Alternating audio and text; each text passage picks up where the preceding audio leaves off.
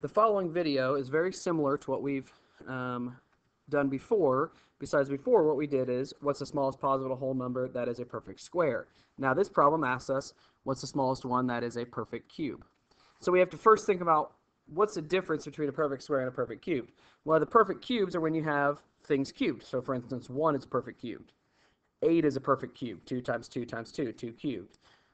27 is a perfect cube. 3 times 3 times 3. 64 is a perfect cube. Uh, 125 is a perfect cube. 216 is a perfect cube. That's 6 cubed. These are all perfect cubes. So if we think again about the prime factorizations, we notice that we got 2 to the third, uh, 27 is 3 to the third, 64 is 4 to the third, which is the same as 2 to the sixth, 125 is 5 to the third, 2 16th is 6 to the third, but that's the same as 2 to the third 3 to the third. So just like before, we needed to have even number powers for it to be a perfect cube.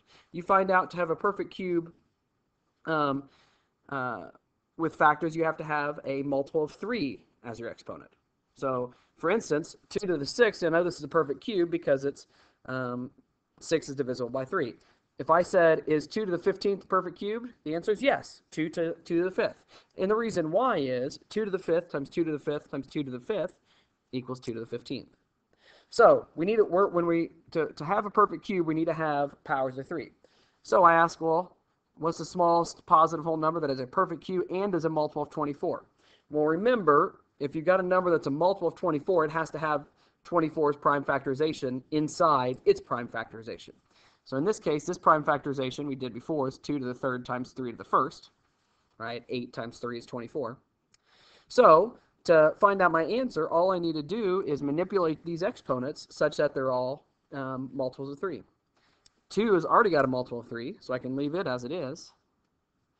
And then this one, I need to add 2 to the 1 to get 3 to the third, and that is a multiple of 3, um, or obviously because it's 3, and so this is a perfect cube.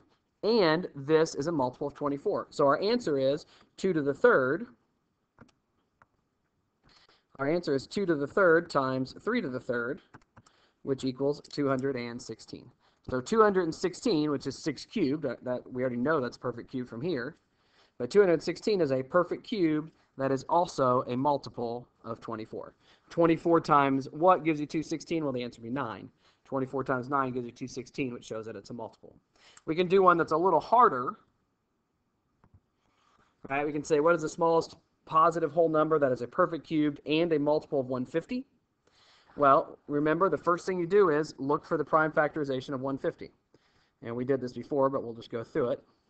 2 goes into 150 75 times. 3 goes into 75 15 times, or 25 times. 5 goes into 25 5 times. And so your prime factorization is 2 to the first, 3 to the first, 5 to the second. To make it a perfect cube, I need all these exponents to be um, multiples of 3. So I need to add two 2's. So it's going to be 2 to the third. It's going to be 3 to the third. And then 5 to the third. And so if I multiply all three of these together, that gives me a perfect cubed. It's also a multiple of 150 because this is inside there. It is also the smallest because I had to add two new 2's and I had to add two threes, and I had to add one five. I didn't add anything extra beside what I had to add uh, exponents wise to give me a perfect cube. So the answer is going to be uh, 8 times 27 times 125, which will give you 27,000. And if you wanted to know what is the cube root of 27,000, it actually turns out to be 2 times 3 times 5, which is 30. And so 30 is the cube root of 27,000. That shows you it's a cube root. And 150 does go into uh, 27,000. So that is your answer, 27,000. That is the smallest positive whole number that is a perfect cube and is a multiple of 150.